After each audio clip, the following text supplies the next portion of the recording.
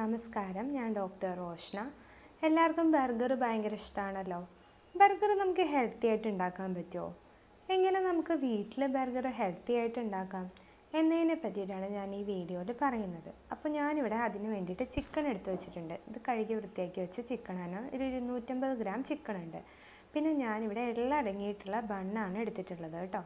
പിന്നെ കുറച്ച് vegetables cut ചെയ്ത് വെച്ചിട്ടുണ്ട്. തക്കാളി ക്യാപ്സിക്കം സവോള പിന്നെ വേണ്ടത് നമ്മുടെ വെളുത്തുള്ളി ഇഞ്ചി പേസ്റ്റാണ് ഒരു വലിയ ടേബിൾ സ്പൂൺ വേണം. പിന്നെ ഒരു സവോള ചെറുതായിട്ട് അരിഞ്ഞത് ടൊമാറ്റോ കെച്ചപ്പും എഗ്ലെസ് ഓയിൽ ഫ്രീ മയണീസുമാണ് ഇവിടെ എടുത്തിട്ടുള്ളത്. ഇനി നമുക്ക് ഒരു ക്യാബേജാണ് ഇവിടെ എടുത്തു വെച്ചിട്ടുള്ളത്. അപ്പോൾ ക്യാബേജ് എന്താണ്? ലെറ്റ്യൂസ് അല്ലേ വേണ്ടതെന്ന് എല്ലാവർക്കും തോന്നിക്കാണും അല്ലേ? പക്ഷേ നിങ്ങളൊരു കാര്യം മനസ്സിലാക്കണം. ക്യാബേജിൽ വൈറ്റമിൻ സി അറുപത് ശതമാനം നമുക്ക് ആവശ്യമുള്ള വൈറ്റമിൻ സി അടങ്ങിയിട്ടുണ്ട്. ലെറ്റ്യൂസിൽ വെറും നാല് ശതമാനമേ അടങ്ങിയിട്ടുള്ളൂ. ഇനി നമുക്ക് ഈ ചിക്കൻ നല്ലോണം മിക്സിയിലിട്ടിട്ടൊന്ന് അടിച്ചെടുക്കണം.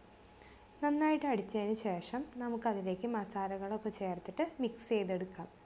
അപ്പോൾ ഈ വെജിറ്റബിൾസൊക്കെ പച്ചയ്ക്ക് കഴിക്കുന്നതാണ് ഏറ്റവും നല്ലത് കേട്ടോ. നമുക്കറിയാവുന്ന കാര്യമാണല്ലേ? അതുപോലെ ചിക്കനിൽ ധാരാളം പ്രോട്ടീൻസ് അടങ്ങിയിട്ടുണ്ട്. നമ്മുടെ ശരീരത്തിന് പ്രോട്ടീൻസൊക്കെ അത്യാവശ്യമാണ്.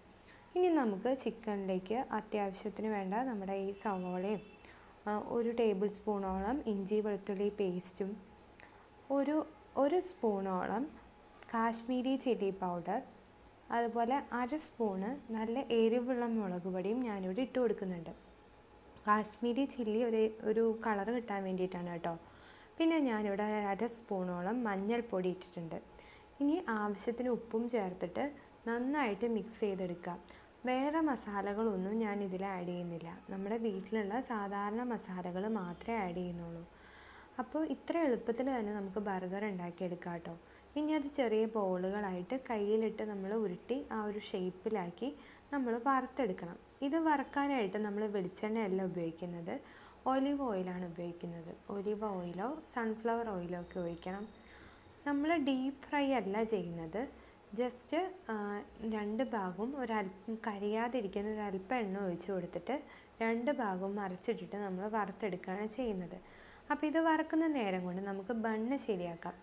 വോൾ വീറ്റ് ബണ്ണുണ്ട് വോൾ ഗ്രെയിൻ ബണ്ണുണ്ട് പലതരം ബണ്ണുകളും ഹെൽത്തി ബണ്ണുകളും ഇപ്പോൾ അവൈലബിൾ ആണ്. ഞാനിവിടെ എടുത്തിട്ടുള്ളത് എള്ള് ഇതിന്റെ ഉള്ളിലും പുറമേയൊക്കെ ധാരാളം എള്ളടങ്ങിയിട്ടുള്ള ഒരു ബണ്ണാണ് ഞാൻ ഇവിടെ എടുത്തിട്ടുള്ളത്. ഇനി രണ്ട് വശത്തും ഒരു സൈഡിൽ ടൊമാറ്റോ കച്ചപ്പും ഒരു സൈഡിൽ മയണൈസും തേച്ച് കൊടുക്കുകയാണ് ഇത് ഓയിൽ ഫ്രീ എഗ്ലെസ് ആണ്. ഇതിന്റെ റെസിപ്പി ഞാൻ ഇതിന് മുൻപ് ഇട്ടിട്ടുണ്ടായിരുന്നു.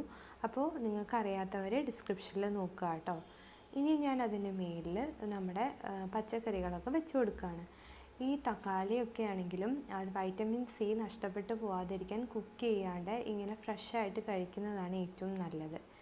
ഇപ്പം ഞാൻ ഓരോന്ന് അറേഞ്ച് ചെയ്ത് അവരവരുടെ യുക്തിക്കനുസരിച്ച് വെച്ച് കൊടുക്കുക ഇനി നമുക്കതിന്റെ മേളിലേക്ക് നമ്മുടെ ക്യാബേജിന്റെ ഇലയും കൂടി വെച്ച് കൊടുക്കുക. അതിനുശേഷം നമ്മൾ ഇപ്പോൾ വറുത്ത് വെച്ചിട്ടുള്ള സംഭവം ഒരുവിധം നന്നായി മുരിഞ്ഞു വന്നിട്ടുണ്ട്. രണ്ട് സൈഡും മുരിഞ്ഞു വന്നിട്ടുണ്ട്. ഇനി നമുക്ക് ആ ഒരു ബർഗറും കൂടി പൂർണ പൂർത്തിയാവാൻ ഈ ഒരു സംഭവം കൂടി അങ്ങോട്ട് വെച്ച് കൊടുക്കുകയാണ്. ഇത്രയേ ഉള്ളൂ. വളരെ എളുപ്പത്തിൽ നമുക്ക് ബർഗർ തയ്യാറാക്കാം. നമ്മുടെ വീട്ടിൽ വളരെ ഹെൽത്തി ആയിട്ട് ഒരിക്കലും ബർഗർ ഒരു ഹെൽത്തി അല്ലാത്തൊരു റെസിപ്പി അല്ല. അത് ഉണ്ടാക്കുന്ന മെത്തേഡിൽ ചെറിയൊരു വ്യത്യാസം വരുത്തിയാൽ മതി. ബർഗർ വളരെ നല്ലൊരു സ്നാക്കാക്കി നമുക്ക് മാറ്റിയെടുക്കാനായിട്ട് കഴിയും. അപ്പോൾ എല്ലാവരും ഇനി മക്കൾക്കൊക്കെ ഇങ്ങനെ ബർഗർ ഉണ്ടാക്കി കൊടുക്കുക എന്റെ വീഡിയോ ഇഷ്ടമാവുകയാണെങ്കിൽ ലൈക്ക് ചെയ്യാനും സബ്സ്ക്രൈബ് ചെയ്യാനും മറക്കരുത് കേട്ടോ. Thank you for watching. Bye.